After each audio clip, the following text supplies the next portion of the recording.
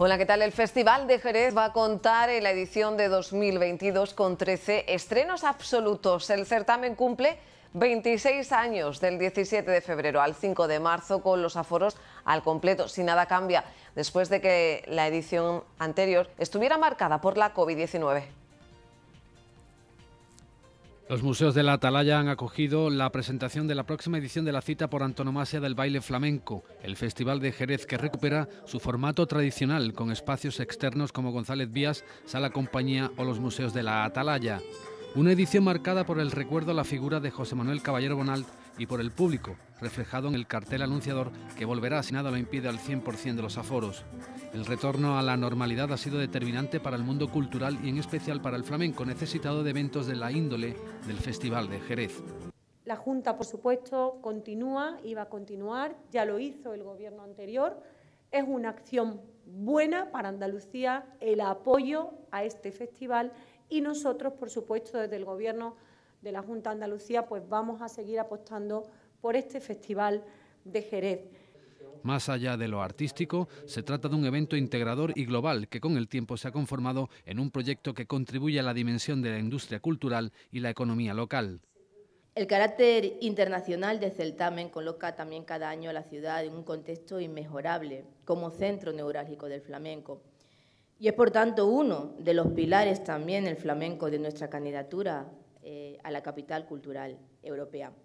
Y es que estamos ante un proyecto artístico diferenciado que aglutina las diferentes líneas estéticas que el flamenco nos ofrece. Los abonos y localidades para los espectáculos incluidos estarán a la venta a partir del 2 de noviembre, con la posibilidad de hacerlo al Teatro Villamarta y sus espectáculos o a otros ciclos con cinco funciones de cualquiera de ellos. Desde el Teatro Villamarta se ha intentado confeccionar un programa donde estén presentes todas las corrientes que actualmente componen el baile flamenco.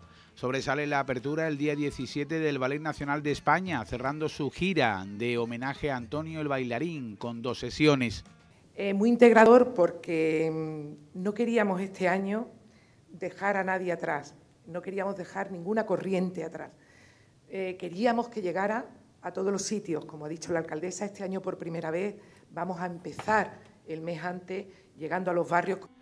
Figuras del baile tradicional como Antonio El Pipa, Manuela Carrasco, Manuela Carpio se dan la mano con nombres como Manuel Liñán con su espectáculo Pie de Hierro, Mercedes de Córdoba y su compañía Ofarruquito, todos ellos sobre las tablas del Villamarta. A esto se suma el ciclo muy personal y con nombre propio en los museos de la Atalaya, con Javier Barón, La Piñona, Olga Periset o Rosario Toledo, entre otros artistas.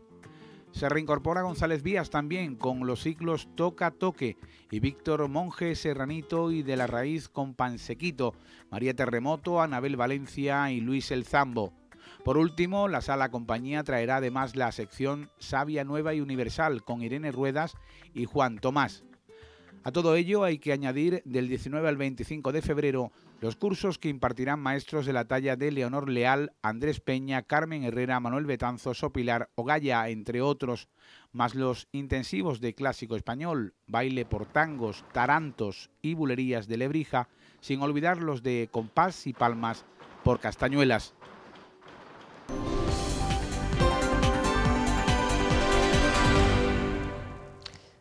El Gobierno municipal va a pedir la titularidad de las calles privadas de Princijerez a los vecinos para acometer las actuaciones necesarias. La alcaldesa ha visitado la zona y ha anunciado la mejora del parque ubicado junto a la cancha polideportiva. La alcaldesa Mamen Sánchez, junto al teniente de alcaldesa de urbanismo José Antonio Díaz, ha visitado Princijerez para supervisar las actuaciones municipales realizadas en el viario público y para conocer las nuevas demandas de los vecinos. En este sentido, destaca que el Gobierno municipal volverá a pedir la titularidad de las calles privadas de la barriada a los vecinos para poder acometer las actuaciones necesarias, atendiendo a la solicitud del colectivo vecinal.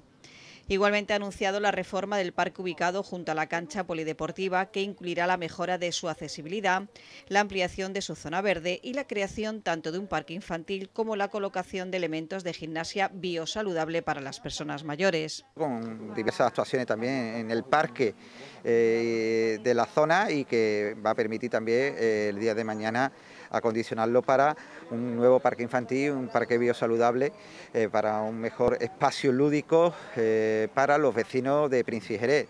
Después vamos a, también con, la propia asociación, vamos a entablar diversas actuaciones conjuntas para mejorar el entorno.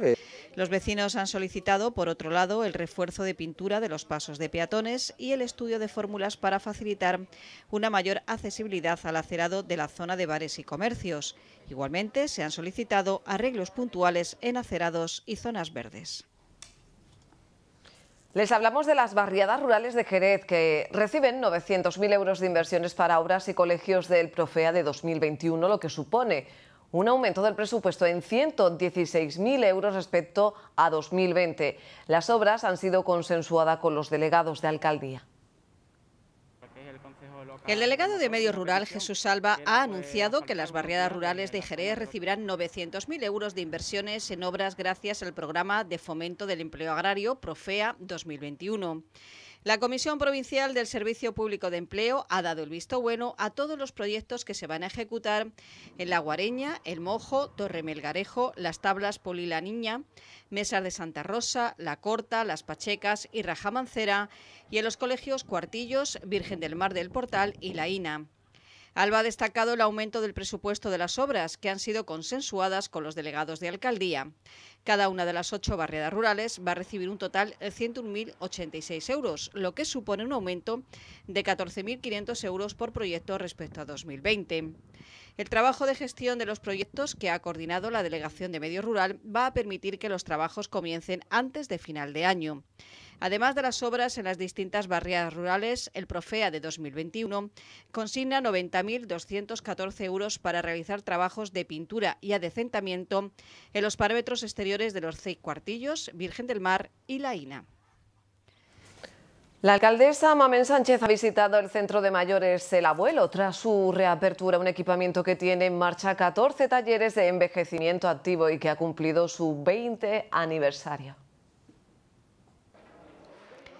La alcaldesa, acompañada por la delegada de Acción Social y del Mayor, Carmen Collado, ha visitado el Centro de Mayores El Abuelo, que recuperaba en septiembre la presencialidad tanto en los servicios de atención e información como en la programación de talleres de envejecimiento activo. En la visita han estado acompañadas por los miembros de la Junta de Gobierno del Centro, Concepción Aguilar y José María Pérez Báez. El área del mayor imparte en la actualidad un total de 14 talleres de envejecimiento activo en este centro, con propuestas físico-deportivas, talleres ocupacionales, taller de memoria y de informática. El centro ha cumplido recientemente su vigésimo aniversario, si bien su origen se remonta a años atrás con la constitución de la Asociación de Mayores El Abuelo, que autogestiona el centro con el apoyo municipal. En la actualidad cuentan con 2.167 personas socias y representación en el Consejo de Mayores a través de su Junta de Gobierno. Pues sepan que el Ayuntamiento ofrece el taller El Teatro como herramienta para la salud, cuya primera sesión se ha desarrollado este jueves en el Centro Social de La Granja. Desde una perspectiva diferente y más lúdica, se da al alumnado herramientas para recuperar el bienestar. El Servicio de Promoción de la Salud de la Delegación de Acción Social y del Mayor, a través de la Estrategia Regional Andaluza para la Cohesión e Inclusión Social, ERACIS, impulsa el taller El Teatro como herramienta para la salud. El taller está impartido por la dramaturga y directora de teatro Elisa Constanza Zamora y contará con dos sesiones. A la primera, desarrollada este jueves en el Centro Social La Granja, ha asistido la delegada Carmen Collado. Que a través de esa actividad pues se, reconozcan esos problemas de salud que tenemos, esos problemas que tenemos y, concienciar para avanzar en, esa prevención, que es lo que, lo que llevamos desde, esta, desde, el servicio de salud, trabajar la prevención, trabajar los hábitos saludables y, ponernos en, ese, en esa parte, ¿no? en, esa, en esa situación y concienciarnos. Este taller se marca en el programa Por mi Salud, en el que se trabajan diferentes ámbitos relacionados con la salud, alimentación, emociones, actividad física o salud sexual. El taller desarrollado este jueves da herramientas para que podamos conocer mejor nuestra salud. Todo lo que hacemos, nuestras situaciones de estrés, nuestras situaciones, todos los problemas, todo al final acaba empeorando nuestra salud, ya sea salud física, como salud mental, ¿no? Entonces al final es lo mismo, volvemos al, principio, tenemos que hacer que todo repercuta de forma saludable en nuestra vida, vivir más años, pero vivirlos mejor y vivirlos con más, con más salud en definitiva. La próxima sesión del taller tendrá lugar el próximo jueves 28 de octubre a partir de las 6 de la tarde también en el Centro Social de la Granja.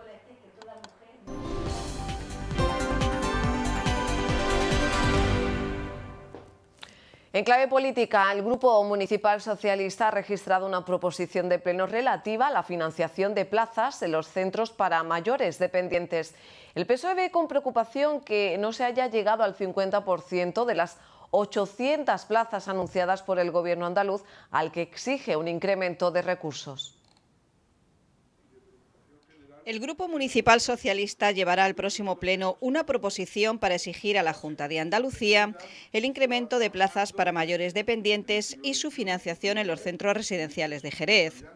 Una cuestión necesaria, según los socialistas, que pone de relieve la progresiva situación de envejecimiento de la población, a la vez que recuerdan los más de 20.000 puestos de trabajo que la ley de dependencia ha creado en nuestra comunidad. Igualmente han mostrado su preocupación por cómo no se ha cubierto ni la mitad de las 800 plazas anunciadas por el Ejecutivo de Moreno Bonilla.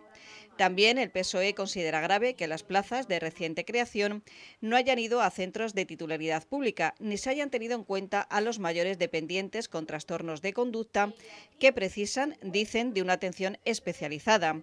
Por último, el PSOE destaca el esfuerzo asistencial a través del Centro de Acogida San José que el Gobierno local está haciendo. De ahí que precise de apoyo financiero por parte de la Junta. Y el portavoz del Grupo Municipal de Ciudadanos, Manuel Méndez, ha valorado positivamente la nueva ley de tributos cedidos aprobada en el Parlamento andaluz. Asegura que va a aliviar la carga fiscal de los jerezanos ya que supondrá, dice, una bajada de la escala autonómica en el IRPF. El portavoz de la formación naranja afirma que las políticas liberales, con medidas como esta, hacen que la economía doméstica de los jerezanos salga, señala, beneficiada. Para Méndez, bajar los impuestos no significa recaudar menos, sino facilitar dice, la generación de la productividad. Asimismo, ha lamentado que el PSOE haya sido el único partido político que se ha opuesto a esta nueva ley.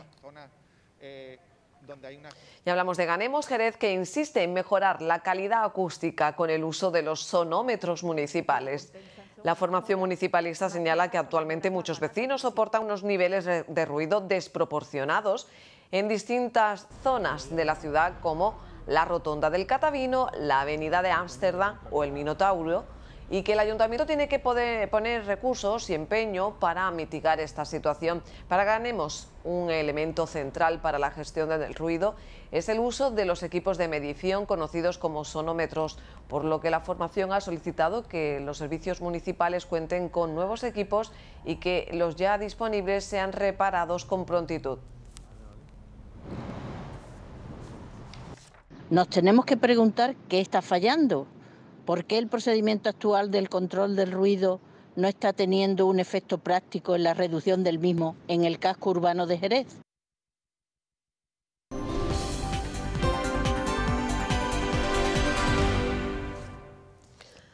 La Asociación de Belenistas de Jerez ha presentado el cartel y el programa oficial de actos para esta Navidad. El 3 de diciembre se va a inaugurar la exposición de nacimientos en los claustros, donde ese día Marcos Gómez dará el pregón. El auditorio de la Fundación Cajasol ha sido el escenario elegido para la presentación oficial de la campaña de Navidad de la Asociación de Belenistas de Jerez. Durante la ceremonia conducida por Manuel Doña, se dio a conocer el cartel de la Navidad, obra de Manuel Salado, quien recibió un cuadro con la reproducción del mismo. El comunicador jerezano José Manuel Cabrales fue el encargado de presentar el cartel. Como dice Manolo Salado, el autor, este es el Belén de la pandemia, ya que durante estos difíciles meses todos hemos sufrido el duro golpe de un virus que nos ha recordado lo importante que es la familia. El acto sirvió además para la entrega tanto de insignias a los nuevos socios, así como la distinción amiga de los belenistas a la diputada popular María José García Pelayo. he hecho todo lo posible siempre por colaborar con vosotros, pero todavía quedan muchas cosas por hacer y yo tengo mi espinita clavada, que es ese Museo del Belén. El presidente de los belenistas, Ramón García, se dirigió a los asistentes para referirse a uno de los objetivos como es potenciar la visualización de la entidad dentro de la vida cultural de la sociedad jerezana. Pues somos una de las entidades asociativas jerezanas más longevas y de mayor actividad pública, y ello lo debemos hacer notar con mayor ahínco para que nos valoren por fin una labor de los belenistas que quiso destacar el teniente de alcaldesa de Dinamización Cultural, Francisco Camas, a la vez que les trasladó todo el apoyo del gobierno local. La importancia de la Navidad jerezana sois vosotros lo que ahí se ha demostrado también con una amplísima programación de actividades los que soportáis la Navidad de Jerez. Por lo tanto, tenéis que estar contentos y... El acto estuvo amenizado por el coro Virgen de Belén que interpretó los villancicos Tócale las palmas y fríos de enero, que nos anuncian que la Navidad está a la vuelta de la esquina.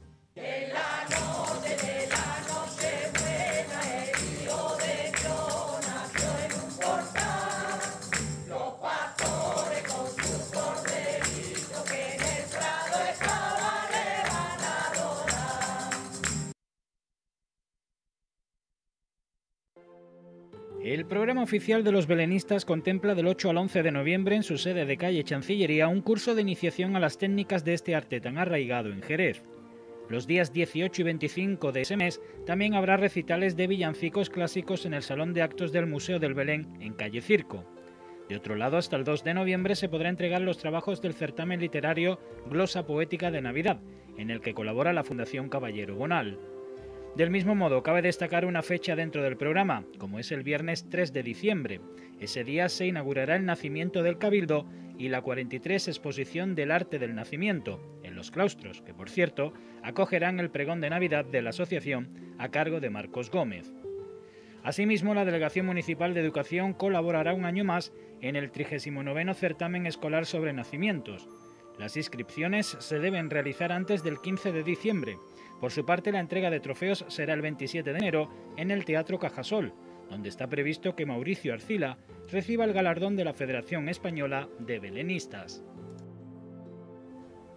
Pues el delegado de Medio Rural, Jesús Alba, ha mantenido una reunión de trabajo con los delegados de barriadas rurales de Jerez para planificar y consensuar precisamente las actividades para esa próxima Navidad que ya está cerca. Alba ha asegurado que el ayuntamiento va a ofrecer su colaboración en las cabalgatas y actividades lúdicas dirigidas a los niños de las barriadas rurales. Asimismo, y al igual que ocurriera en las fiestas de la vendimia, se esperan descentralizar algunas de las actividades previstas para esas fechas. También el delegado ha explicado que durante noviembre se va a organizar por parte de la delegación una excursión en kayak por las aguas del río Guadalete con la participación de los vecinos de todas las barriadas rurales. Francisco Camas ha presidido la reunión del Consejo Consultivo del Flamenco de Jerez al que han asistido representantes de entidades y sectores sociales, además de profesionales relacionados con el flamenco. En el transcurso de la sesión, los participantes han realizado aportaciones y sugerencias en relación a la programación de este otoño y a la prevista para el año que viene. En este sentido, entre estas figura la de establecer líneas de colaboración entre entidades públicas y privadas para favorecer la asistencia a los espectáculos flamencos de público joven o bien poder incluir en la guía oficial de flamenco actividades que se desarrollen por parte del sector privado.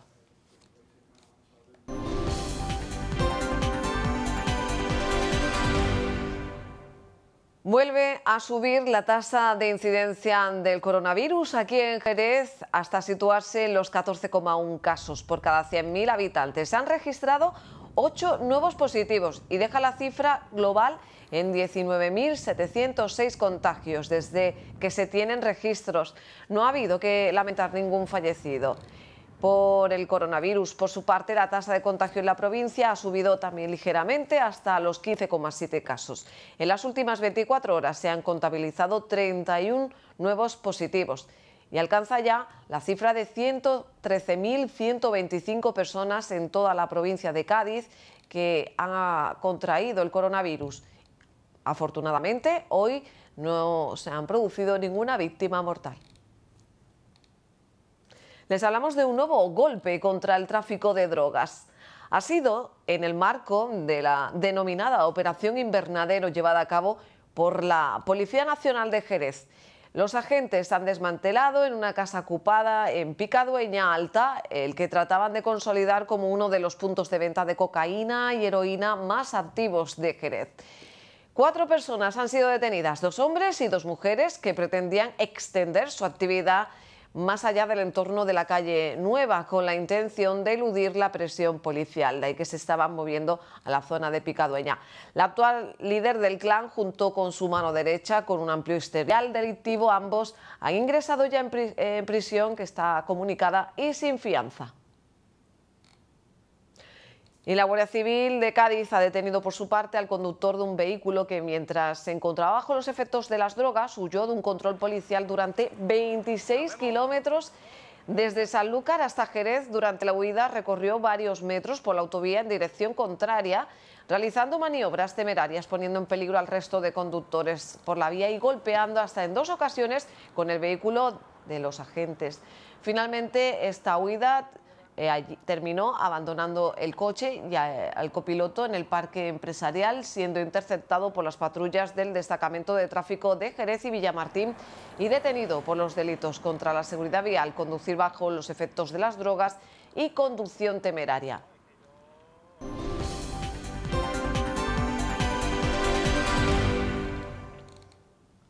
El fin de semana nos trae de nuevo una interesante jornada de Liga de Fútbol. Ganar en algunos casos para poder salir del descenso es el objetivo de nuestros representantes.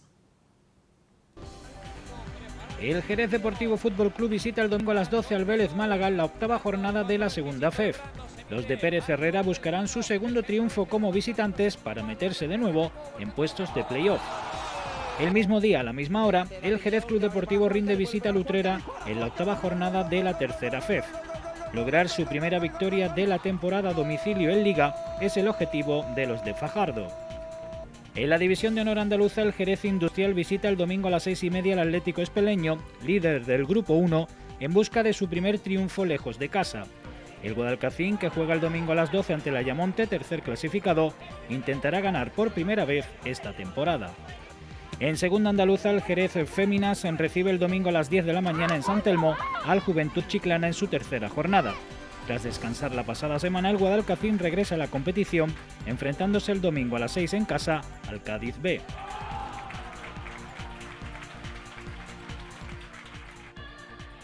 En el resto de deportes, el Guadalcacín femenino de fútbol sala recibirá el sábado a las 7 al Deportivo Córdoba en segunda división. Antes, a las 6 y media, el Jerez Toyota Auto masculino visitará a Coineña en la segunda división B.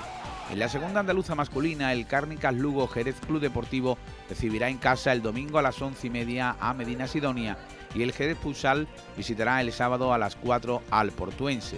En baloncesto, el Jerez Club Deportivo jugará en casa el sábado a las 7 y media ante el San Fernando, líder del grupo DB de Liga EVA.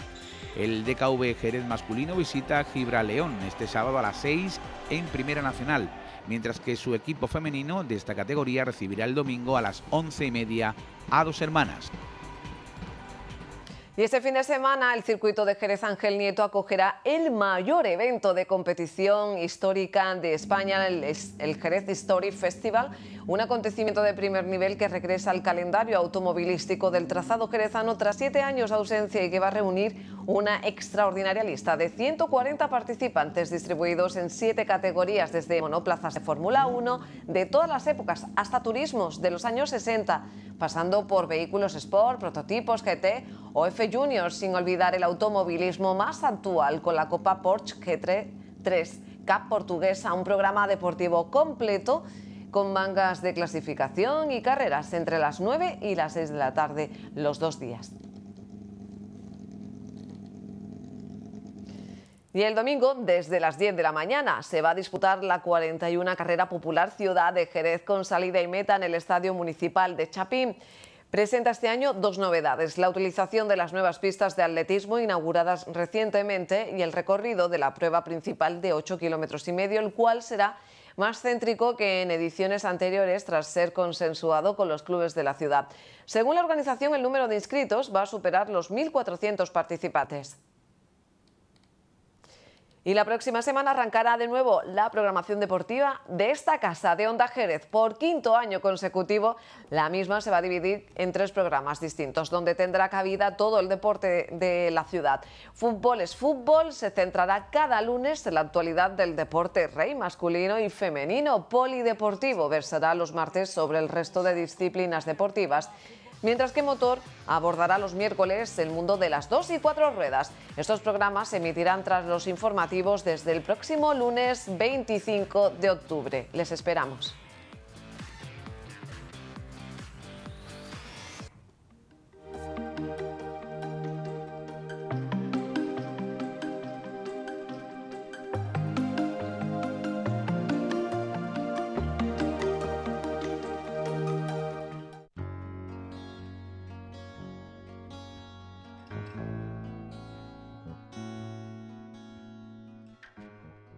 Este viernes el día ha amanecido con cielos poco nubosos o despejados, temperaturas en descenso. Soplan hoy vientos de componente oeste con intervalos fuertes en el área del estrecho. En cuanto a las temperaturas, en Jerez alcanzaremos una máxima de 24 grados, la mínima será de 11 grados centígrados.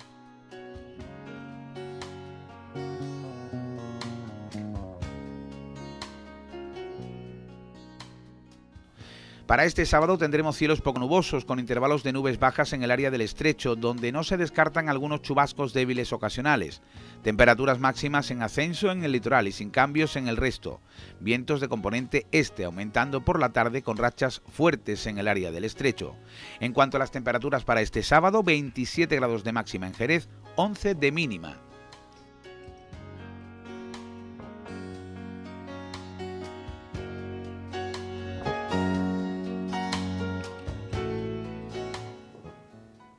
No hay tiempo para más. Gracias por elegirnos. Pasen un feliz fin de semana. Hasta el lunes.